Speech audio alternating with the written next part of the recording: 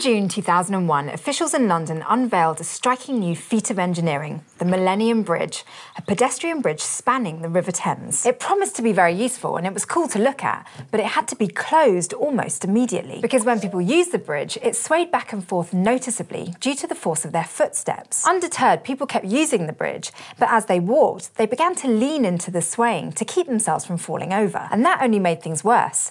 Eventually, the motion of the bridge became so severe that the bridge took on the shape of a giant S, essentially a horizontal wave. The bridge had to be closed and the engineers took nearly two years to fix the problem. So what was wrong with the Millennium Bridge? And why didn't the engineers foresee the problem? The answer lies in oscillations.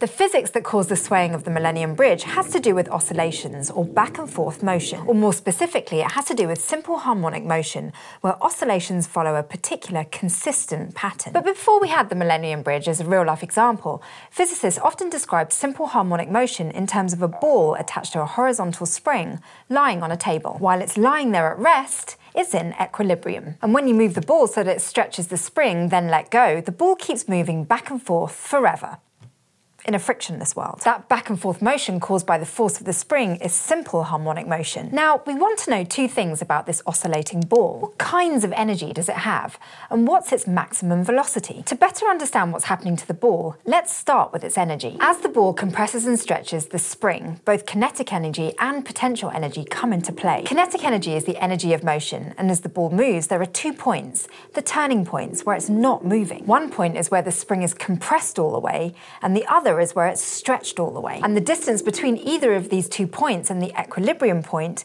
is called the amplitude. At those two turning points, the ball won't have any kinetic energy since it isn't moving. Instead, all of the ball's energy will be potential energy from the spring, half of the spring constant times the amplitude squared. Now, as the ball moves towards the middle, its kinetic energy starts to increase because it's moving faster and faster. And at the same time, its potential energy decreases, keeping its total energy the same. And exactly in the middle of the ball's motion at the equilibrium point, its potential energy goes down to zero.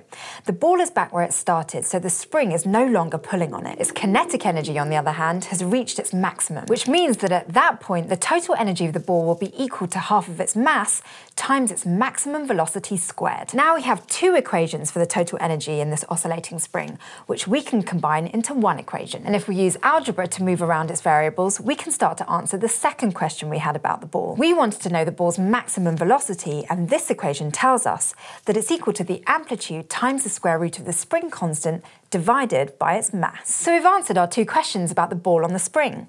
We know about its energy and we have an equation for its maximum velocity. But there's a lot more going on with this ball than just its energy and velocity. It also has properties like period, a frequency and an angular velocity, plus its position changes with time. You might recognise those terms because we already talked about them in our episode on uniform circular motion, and that's no coincidence. Simple harmonic motion is actually a lot like uniform circular motion, mathematically speaking. You can see this for yourself if you compare the ball's motion on the spring to an object in uniform circular motion, say a marble moving along a ring at a constant speed. Okay, I admit it might seem like kind of a weird comparison at first. For one thing, the ball on the spring is moving in one dimension, while a marble moving along a circular path is in two dimensions. But what if you take that ring and look at it from the side? The marble keeps moving along its circular path, but to you, it looks like it's just moving back and forth along a straight line. Not only that, but it looks like this marble is stopping momentarily as it changes direction and moving faster as it gets closer to the middle, which is exactly the same way the ball was moving on the spring. Now let's take this comparison one step further. Let's assume that the radius of the ring is the same as the amplitude of the ball's motion on the spring, and that the marble's constant speed along the ring is equal to the maximum speed of the ball on the spring. In that case, if you did the math, you'd find that the the equation for the marble's velocity when you look at it edge on is exactly the same as the equation that described the velocity of the ball on the spring. So let's recall what we know about uniform circular motion to see what it can tell us about simple harmonic motion. We know that the time it takes for the marble to move around the ring once is called the period. We also know that the period will be equal to the circumference of the ring divided by the marble's speed. And the radius of the circle is the same as the ball's amplitude on the spring. So its circumference will be equal to 2 times pi times the amplitude. This this means that the period will be equal to 2 times pi times the amplitude divided by the marble's speed, which again is the same as the ball's maximum speed as it moves on the spring. And we can simplify that equation since we know that the maximum speed of the ball is equal to the amplitude times the square root of the spring constant divided by the mass. So the period of the marble's motion around the ring is equal to 2 pi times the square root of m over k. Now we've also talked about the frequency of uniform circular motion.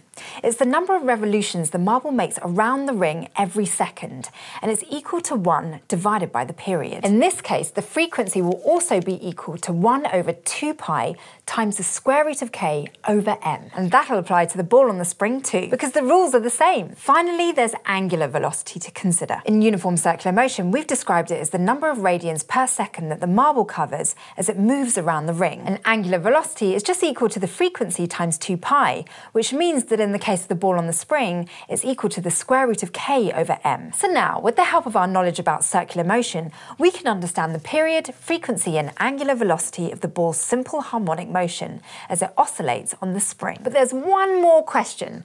How does the ball's position change over time? To find out, we'll have to analyse the marble's motion along the ring again, and the answer will involve some trigonometry but it's not particularly complicated trig, so it'll be fine. At any given point along its path, the marble will be at a certain angle to the right-hand side of the ring, and the cosine of that angle will be equal to its horizontal distance from the centre of the ring divided by the ring's radius. We already know that the radius of the ring is the same as the amplitude of the ball's motion along the spring. And if you turn the ring so it looks like a line again, you can see that the marble's horizontal distance from the centre of the ring is the same as the ball's distance from the equilibrium point. So the cosine of theta is equal to the ball's position divided by its amplitude. In other words, the ball's position is equal to the amplitude times the cosine of the angle. And we can simplify this equation too. In the same way that distance is equal to velocity multiplied by time, the angle is equal to the angular velocity multiplied by time. So we can write the equation for the position of the ball as x equals a cosine omega t. And when you graph this equation, something interesting happens. It looks like a wave. We'll be talking a lot more about waves in our next three episodes, but for now, it's helpful just to see the connection connection here. For an object in simple harmonic motion, the graph of its position versus time is a wave, which is why the swaying of the Millennium Bridge looked like a wave. Speaking of the bridge, we can now better understand what happened to it. The bridge's shimmy was the result of oscillation, but it was made worse by another culprit, Resonance. Resonance can increase the amplitude of an oscillation by applying force at just the right frequency.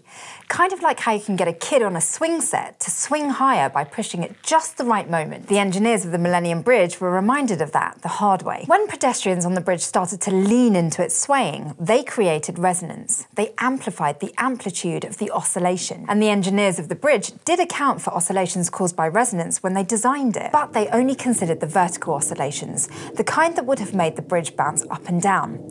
They didn't realise that they'd also had to factor in the horizontal swaying caused by people walking. So it was only a tiny bit of swaying at first, but it got a lot worse because people were leaning into their steps, causing resonance. In the end, engineers had to apply a series of changes to the bridge to counteract its oscillations. Because if there's one thing you don't want your bridge to be doing, it's the wave. Today you learned about simple harmonic motion, the energy of that motion, and how we can use math of uniform circular motion to find the period, frequency, and angular velocity of a mass on a spring. We also described how the position of an object in simple harmonic motion changes over time. Crash Course Physics is produced in association with PBS Digital Studios. You can head over to their channel and check out a playlist of the latest episodes from shows like First Person, PBS Game Show, and The Good Stuff. This episode of Crash Course was filmed in the Dr. Cheryl C. Kinney Crash Course studio with the help of these amazing people, and our equally amazing graphics team is Thought Cafe.